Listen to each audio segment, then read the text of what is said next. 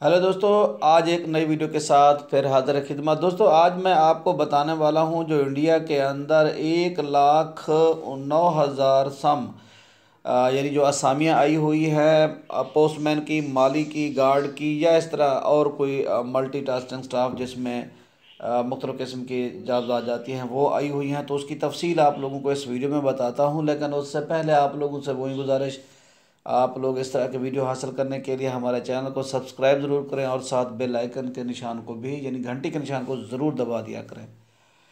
दोस्तों, ये जो असामियाँ हैं, पोस्टमैन की उनसठ, यानी fifty nine thousand ninety nine और उसके बाद माली या गार्ड की जो हैं, वो चौदह सौ पैंतालीस हैं। इसी तरह मल्टी टास्किंग स्टाफ की जो हैं, वो सैंतीस हज़ार पाँच सौ उनतालीस असामियाँ हैं। तो टोटल एक लाख कोई ग्यारह हज़ार के करीब जाकर बनती हैं तो इसके लिए सबसे बड़ी और अहम बात यह है कि तालीम जो रखी गई है, वो मैट्रिक रखी गई है, यानी अगर आप टेंथ पास हैं तो आप लोग इन असामियों के लिए अहल हैं, अप्लाई कर सकते हैं।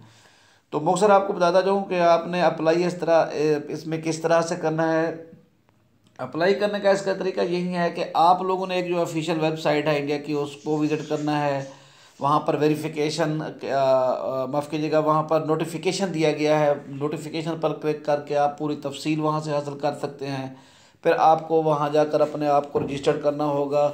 वहाँ से आपको यूज़र नेम पासवर्ड मिलेगा। उसी से आप लोगों ने अपनी दरख्वास्तें जाकर सबमिट करनी है। लेकिन उसके साथ एक सौ रुपये का जो चलान फ़ीस फार्म होगा, वो भी आपने सबमिट करना होगा।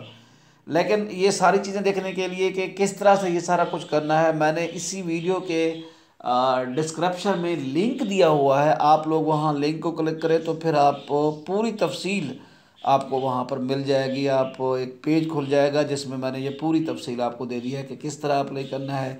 वहाँ पर सारी तफसील है कि एज लिमिट क्या है और एंडिंग डेट यानी कि आखिरी डेट तारीख क्या है अप्लाई करने के लिए, कितना वैकेंसी हैं क्या क्या तफसील है, ये सारा कुछ आपको वहाँ पर मिलेगा। तो आपने सिंपली क्या करना है, इस वीडियो के डिस्क्रिप्शन में जाना है।